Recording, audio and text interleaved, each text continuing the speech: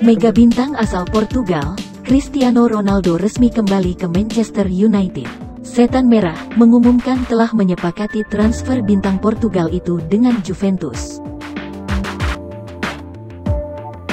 Enam musim bermain untuk MU, Ronaldo memenangkan 8 trofi termasuk tiga gelar Liga Inggris dan Liga Champions.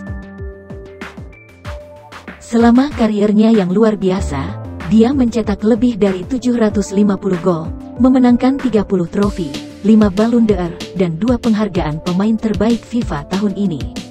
Dibeli Manchester United dengan mahar sekitar 23-30 juta euro. Penyerang 36 tahun itu dilaporkan akan menekan kontrak berdurasi 2 tahun.